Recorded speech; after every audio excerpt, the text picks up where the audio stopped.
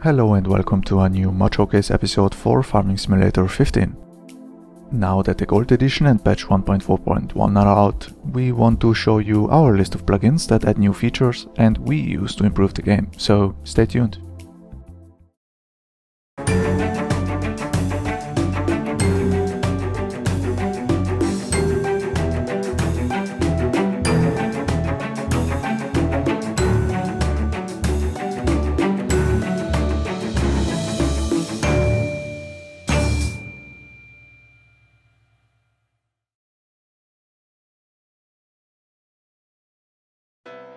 Plugins are installed like all other modifications, just put them in the mod folder of the game.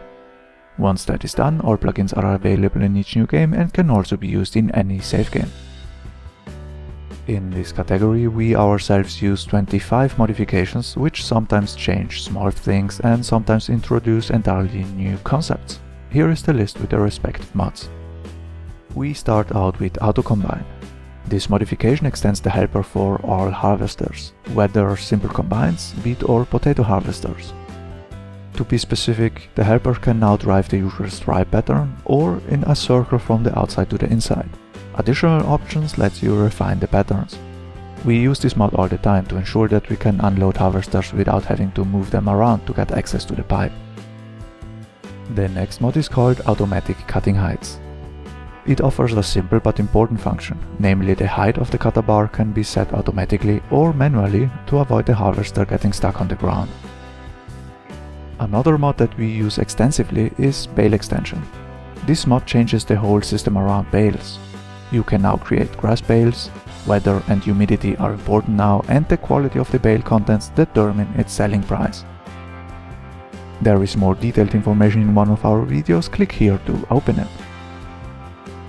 The next mod is called Bale Feed mod and adds functionality to bales.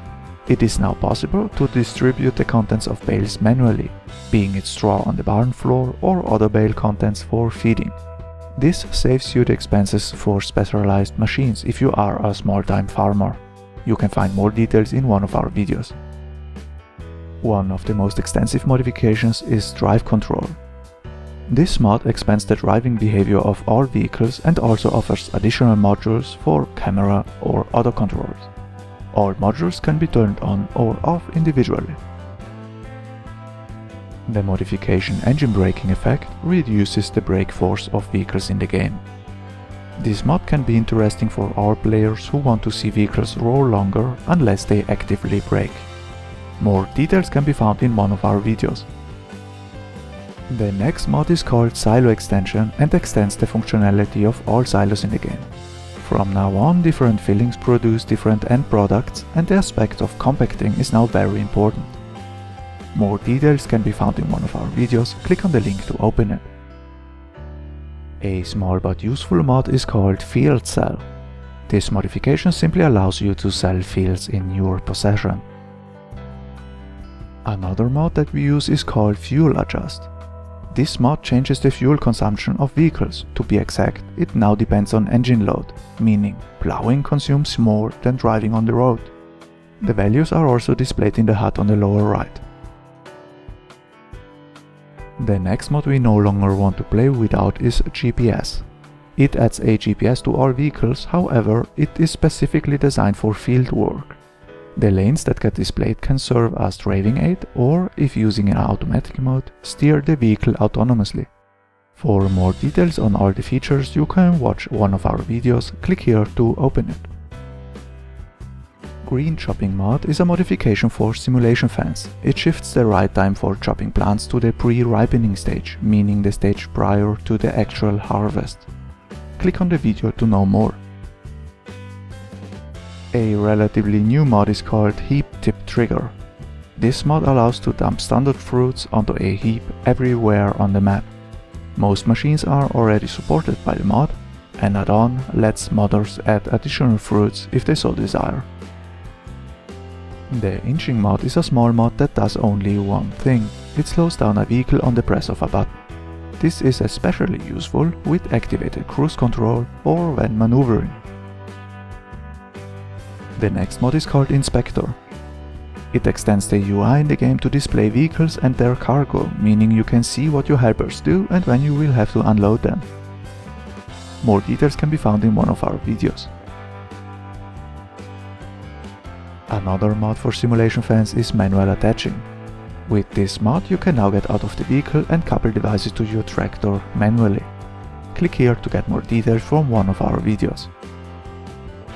The rental mod is an extensive modification that allows all vehicles and machinery in the game to be rented for a limited time. As a small farmer you don't have to purchase big machinery anymore. You can now just rent and use them during harvest time for example, like you do in cooperatives. The next mod is called mouse steering and is mainly of interest to keyboard and mouse users who want to use the mouse as steering tool. This mod makes it possible. For more details click on the link to open up one of our videos. The modification multi-mowing extends the functionality of mowers in the game to allow for mowing of major plants like wheat to produce straw. If you use a map with a GMK mod, multi-mowing adds an additional function, namely it increases the yield of grass when manure or slurry was applied beforehand. The next small modification that we use all the time is no collision camera. We always hated it when the camera collides with objects and starts to jump around. This mod solves that problem.